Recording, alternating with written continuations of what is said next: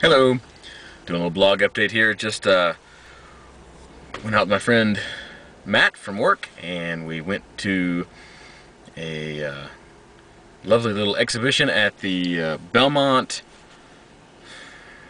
Curb Center, Music Business Center, Curb something at Belmont and uh, got to see a, a, talk and a little demonstration by Eddie Kramer who is uh, world famous engineer and producer of uh, rock music and uh, showing off some new plugins from a company called Waves. Actually, they weren't even new plugins. He was just showing how he used Wave plugins and um, that's about it.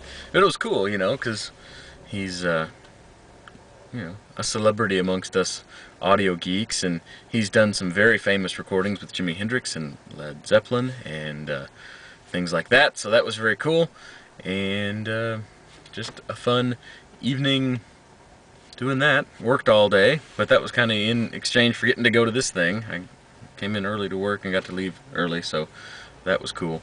So um, that's about it.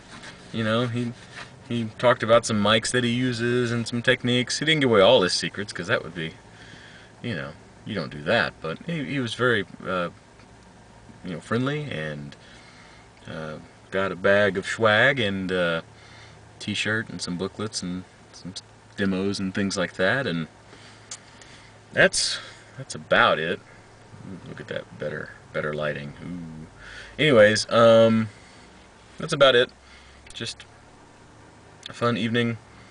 Um, I think we've got a Nuendo meeting next week next Thursday so of a similar vein I'll be going to that probably and uh, I've been at work all day. Oops. I, I can't keep my finger on that button.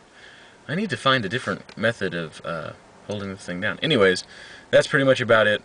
I should quit blogging before I draw security, since I'm here in the parking lot now. Oh, I think there's dust on my light. I can smell it burning. it's a powerful light. Ah, ah, my eyes, they hurt. Anyways, that's about it. Thank you for watching. Uh, please subscribe if you have not and uh, feel free to comment or anything like that. Thank you.